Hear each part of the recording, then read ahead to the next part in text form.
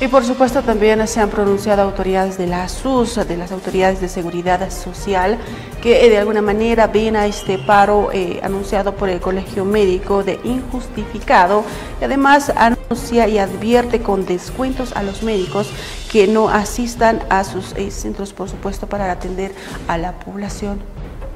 Recordar que encontramos completamente infundadas las acciones de posibles paros y bloqueos de los servicios de salud. Que el derecho a la huelga no puede estar por encima de los derechos esenciales, como la salubridad pública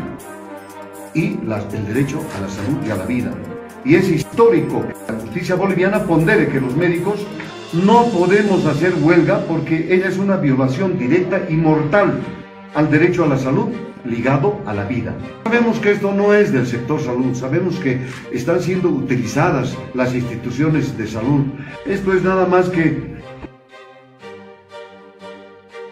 un grupo de personas que han estado apoyando y eh, eh, promocionando el golpe de Estado que todos ya sabemos, ¿no? Entonces,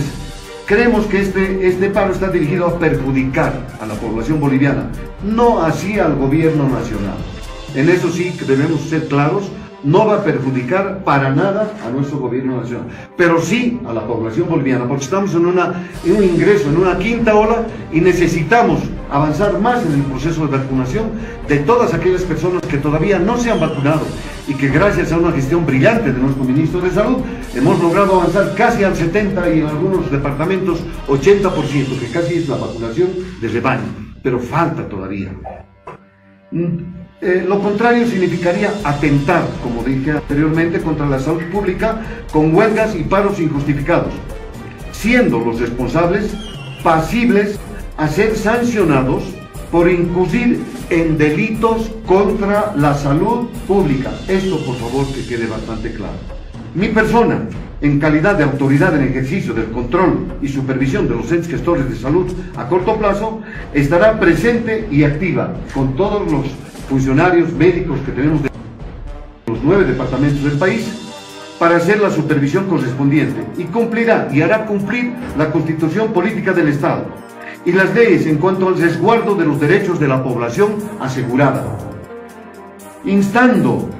como siempre, a todos los sectores a participar de manera positiva y propositiva, siempre en beneficio de las y los bolivianos.